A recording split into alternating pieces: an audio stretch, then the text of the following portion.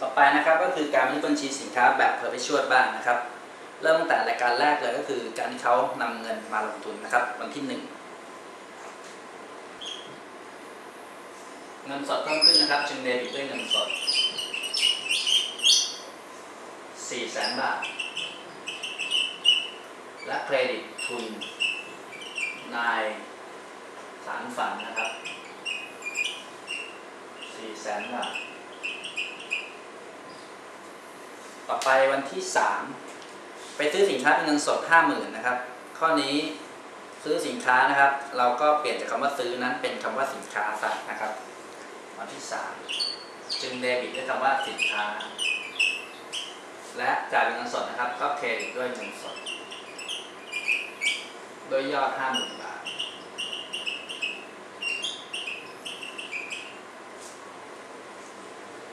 ต่อไปวันที่ 4 ซื้อสินค้าจากบริษัทอินเตอร์ 80,000นะครับ เงื่อนไข3ทับ EOM N ทับ50 ข้อนี้เป็นการซื้อเงินเชื่อนะครับ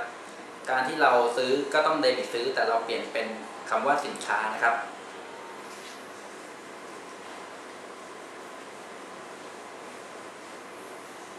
วันที่ 4 จึงเดบิตด้วยคำว่าสินค้า และเครดิต เจ้าหนี้ บริษัทอินเตอร์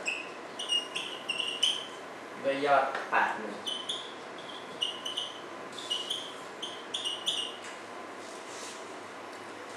วันที่ 9 นะครับ จ่ายค่าขนส่งที่เกิดจากการซื้อนะครับ ในวันที่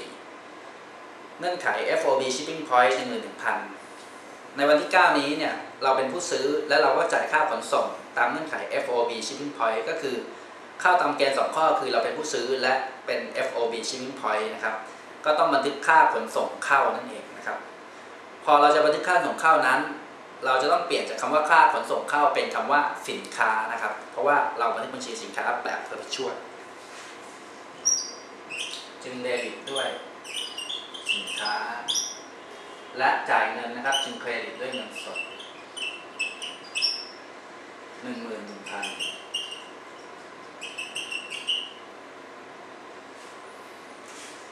ต่อไปนะครับ วันที่ 13 ขายสินค้าให้บริษัทกิมจิ25,000ให้ส่วนลด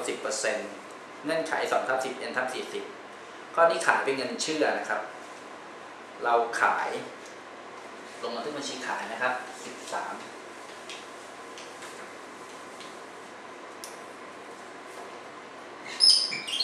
ขายเป็นเงินเชื่อก็ต้องมีลูกหนี้เพิ่มขึ้นนะครับ ลูกหนี้บริษัทกิมจิ เครดิตด้วยขายสินค้า ขายด้วยมูลค่าขายนะครับ ข้อนี้บอกว่าขาย 25,000ให้ส่วนลดการค้า 10%ก็แปลว่าต้องหักออก 10%ก็เหลือ 90%เอา 25,000คูณ 90%จะเหลือเป็นเงินเท่ากับ 22,500 นะครับ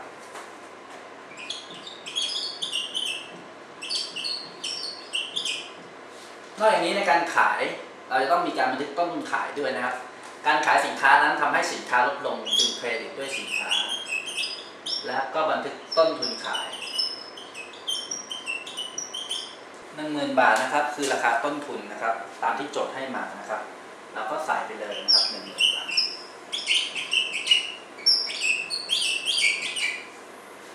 จะเห็นว่าเวลาขายต้องบันทึกต้นทุนขายด้วยนะครับ ถ้าบันทึกบัญชีสินค้าแบบ Perpetual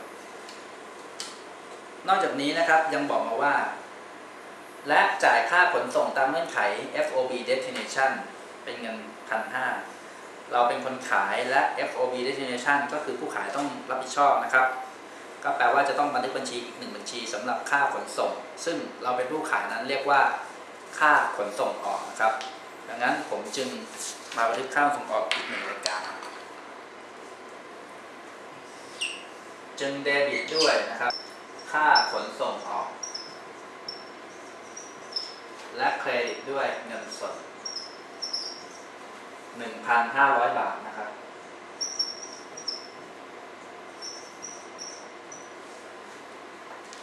13จบแล้วนะครับ ต่อไปก็15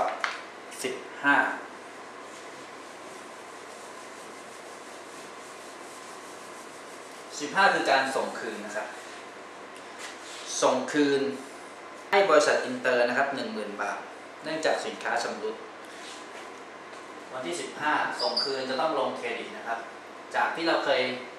เครดิตส่งคืนนั้น เราก็เปลี่ยนเป็นคำว่าสินค้าครับ ส่งคืนนั้นเกิดจากการที่เราเนี่ยเคยไปซื้อมาเมื่อวันที่ 4 นะครับ ซื้อเป็นเงินเชื่อดังนั้น เมื่อส่งคืนก็ต้องมีเจ้าหนี้ลดลง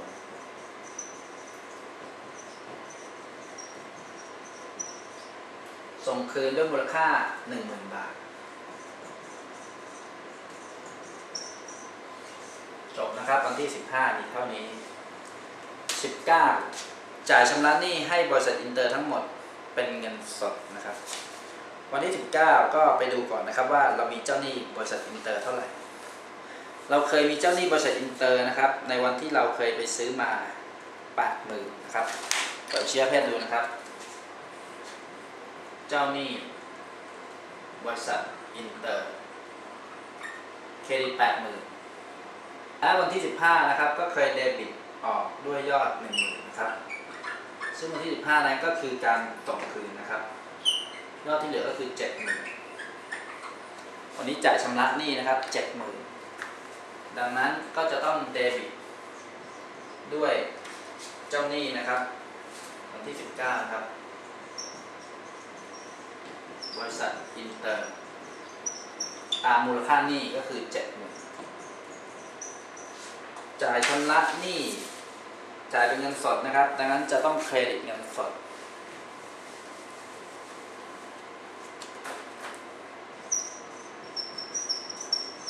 เราก็ไปดูว่าจ่ายเงินสดนั้น